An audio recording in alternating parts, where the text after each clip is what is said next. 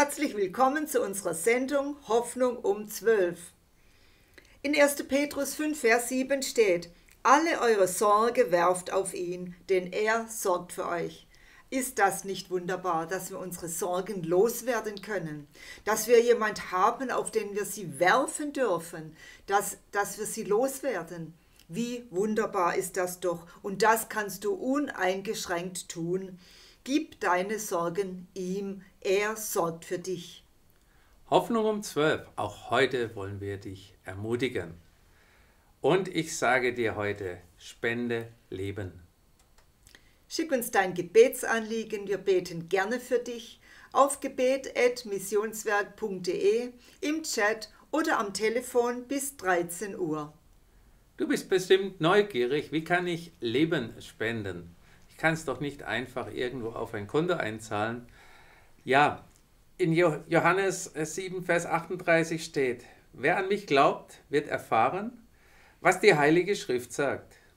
Von seinem Inneren wird Leben spendendes Wasser ausgehen, wie ein starker Strom. Das ist doch was Wunderbares.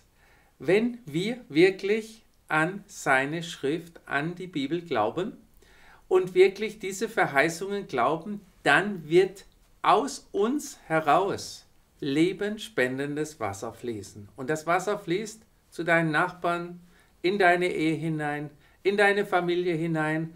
Und das ist so wunderbar, dass wir, wenn wir glauben, Leben spenden dürfen. Wir müssen da gar nichts weiter hinzutun, irgendwo was machen und schieben und zerren, das ist manchmal eh das Verkehrte, sondern wirklich glauben, was in der Bibel steht und dann kann das lebenspendende Wasser, das vom Himmel her kommt, das durch den Heiligen Geist in uns gewirkt wird, dann kann es fließen.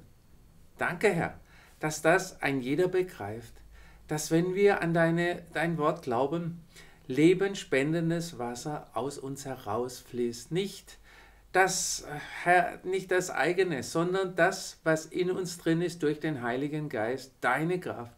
Dieses lebensspendende Wasser, lass es fließen. Danke, Herr. Amen.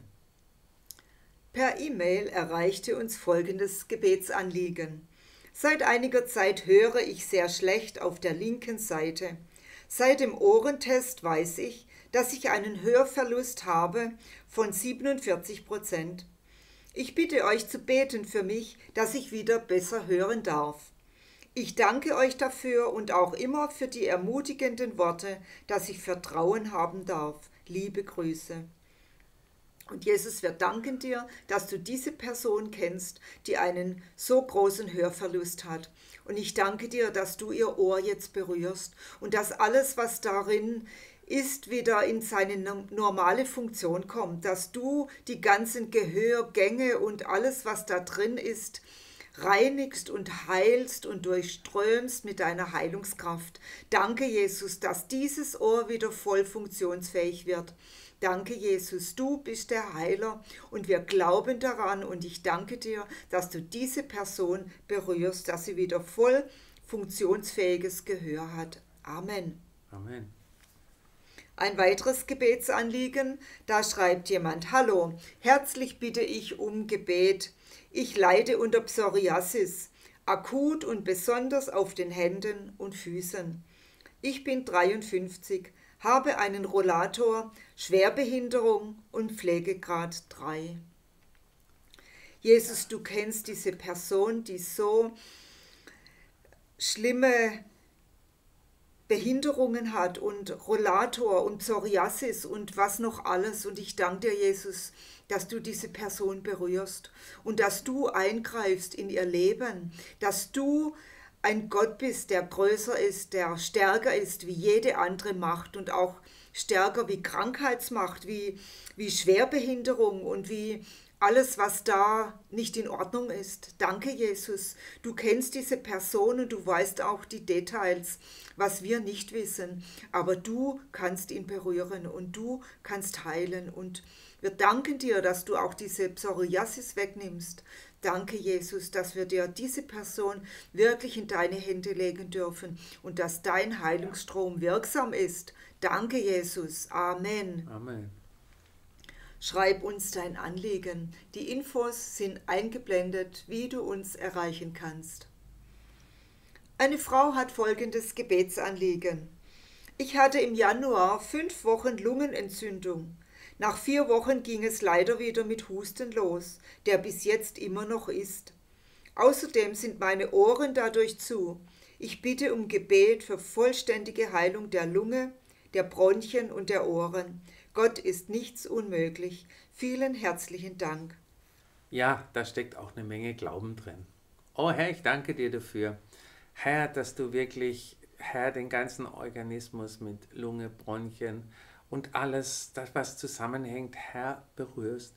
Danke, Herr, dass da total dein heilendes Blut durchfließt, dass du am Kreuz von Golgatha auch für Heilung gegeben hast, Herr, für jeden, der es in Anspruch nimmt. Und danke, Herr, Herr, dass wir über dieser Person komplette Gesundheit ausrufen dürfen in deinem Namen Jesu. Amen. Und eine weitere Bitte um Gebet kommt per E-Mail. Hallo, gerne möchte ich für meinen Mann um Heilungsgebet bitten. Eure Unterstützung tut gut. Er hat starke Rückenschmerzen, Schlafstörungen und ist von Schmerzmitteln und Medikamenten abhängig. Danke fürs Gebet. Ja, unsere Unterstützung, wir können beten. Wir wissen, Gott hört Gebet. Mehr können wir nicht tun, aber es, wir haben einen gewaltigen Gott, der die Wunder tut. Und danke, Herr, Herr, dass wir jetzt auch für diese für diese Heilung beten dürfen. Herr, dass du wunderbar der Herr bist, der hier unterstützt, Herr, Herr, nicht nur unterstützt, sondern wirklich, wirklich heilt, Herr. Ich danke dir dafür und Herr, dass du im ganzen Bereich, Herr, Wunder über Wunder tust in diesem Leben. Herr, wir rufen Normalität wieder in diesen Körper hinein, in deinem Namen Jesu. Amen. Amen. Und eine glückliche Frau schreibt uns folgende Gebetserhörung. Danke vielmals. Bei dem Ostergebet bat ich um Gebetsunterstützung. Wegen der Angst- und Panikattacken, die ich immer wieder bekam, hauptsächlich in der Nacht. Seit diesem Tag habe ich keine mehr. Danke vielmals. Ich bin so glücklich. Und das kann man wirklich nachvollziehen. Eine weitere Gebetserhörung. Herzlichen Dank. Es ist eingetroffen. Gott hat mich überschüttet mit einer wunderbaren Zwei-Zimmer-Wohnung. Beim Umzug haben meine Enkel alles geschleppt, was ich brauche und noch viel mehr. Ich weinte vor Freude.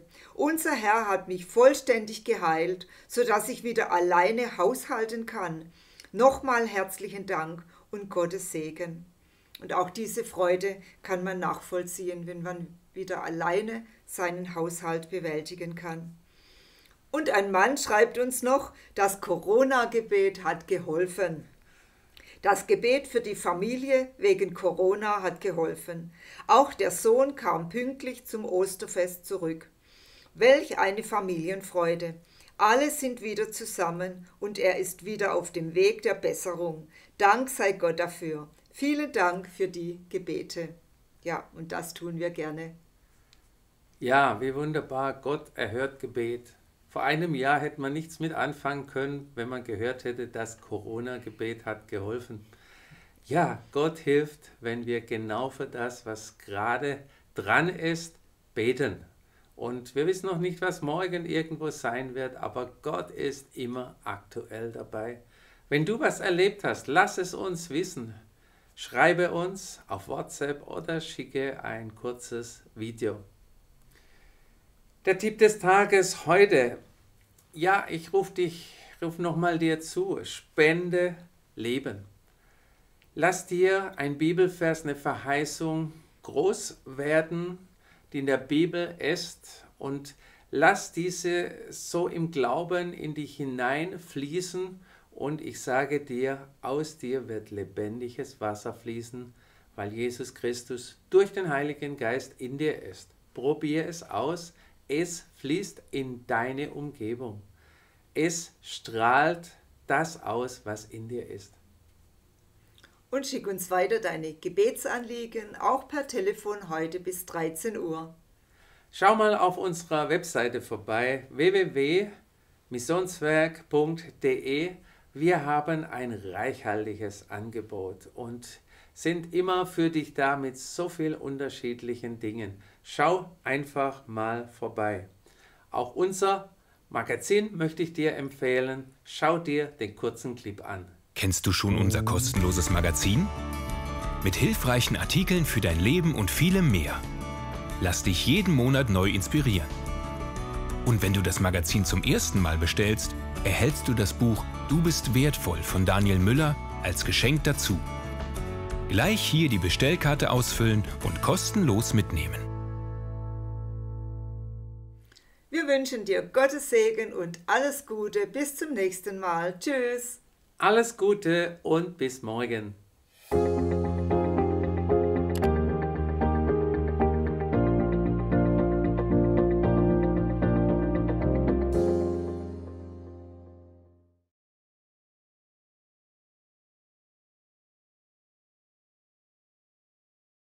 Hol dir unser Magazin nach Hause. Natürlich kostenlos. Das und noch vieles mehr findest du auf missionswerk.de. Wir freuen uns auf dich.